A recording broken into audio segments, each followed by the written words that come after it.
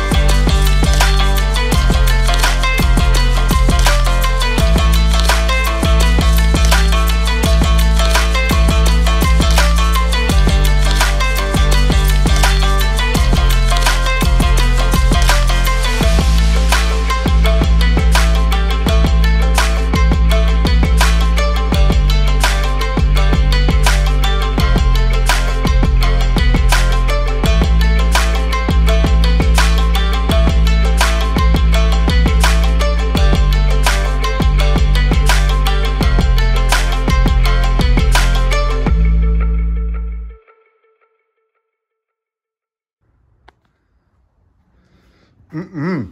She is looking beautiful. So the first half is done. It's looking pretty good. Still got um, obviously some more on there, a couple of little touch-ups.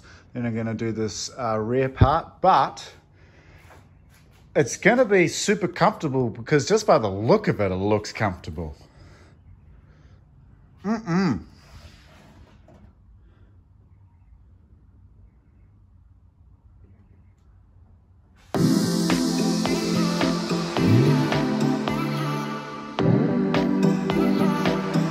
Sneaky uh, little link. G4 Plus in there with a Frenchie's Performance Garage uh, cover. And it's got some uh, masking tape on there to hold uh, hide the uh, terminals um, while I'm working on it.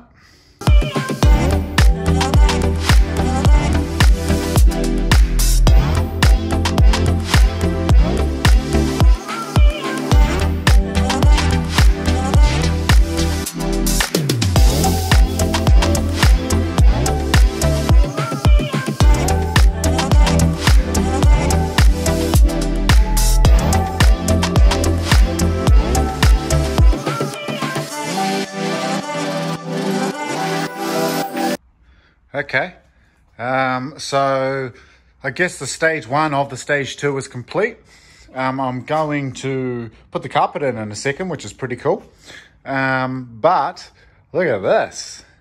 Thing just looks cozy. I can sleep in here. Mm-mm-mm. Now, I'm going to run something along the side here because you have a whole bunch of holes. So I'll put the carpet in for now, see how it looks. Um, but I'm sure I'm going to have to fine tune a little bit of it still. But the bulk of it's been done and it's looking brilliant. And then the carpet, the carpet's in really good condition. I've given it a good vacuum and everything. What it does still have is it still has um, this horrible stuff on it. I'm going to lay it in there with that on and see if it sticks up too high and it's too puffy um, because in theory this stage two stuff is replacing all of that padding that they put in there because um, this is much better look at it mm, mm, mm. so uh, actually, maybe if um, someone could uh, chime in and let us know, should I put the stage one on these wheel wells and then put the stage two on? What do we all sort of think there? Um, I haven't touched them just yet. Do quite uh, like them nice and shiny, but they will be noisy. Um, and obviously the firewall cover is going to come at some stage. Um, I haven't done anything around here um, just because I'm waiting for the painting uh, to get done. Even though the panels are straight, like I said before, um, I just want to wait until I do any insulation inside and on the front there until all the painting's been done. But very happy. I've just um, lifted all the wiring loom up, so it's looking a little bit messy at the moment. Very happy. Quick little snippet. oh. Good thing is, I, I'm having a meeting with the engine builder um, uh, next week. So um, all that's got to be built is the bottom half, which is the RB30. So that's going to be exciting. So I'll do a video on that explaining sort of uh, which direction I'm going with the RB30 bottom end. Oh, very happy with this. So I'm going to have to order some more. Um, I ordered three boxes of this. I've used two for inside here with a little bit left over. This is all I've got left over. Um, and I used one in the back of the S15. So if anyone's wanting to know, three boxes would do the GTR because what I used in the back of the S15, I could have done inside the boot there. Um, so, uh, yeah.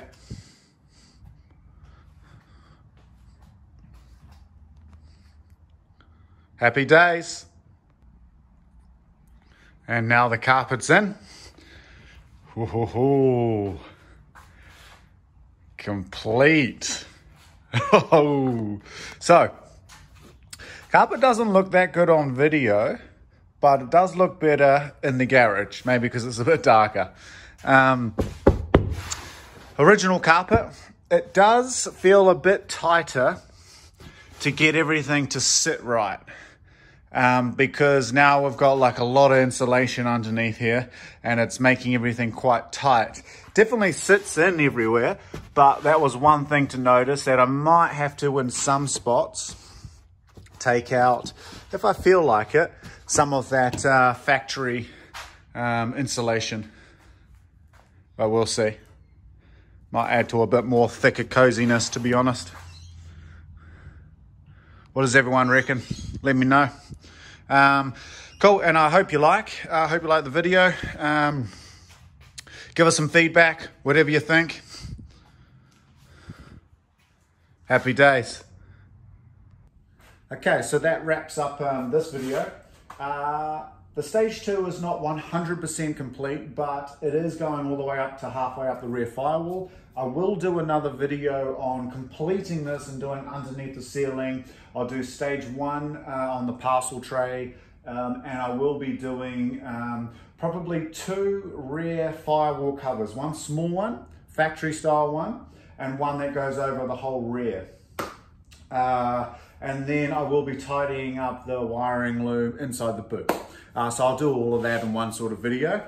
Um, and that's also why I get together some of the other fuel components so I can uh, do that video on the whole entire fuel system.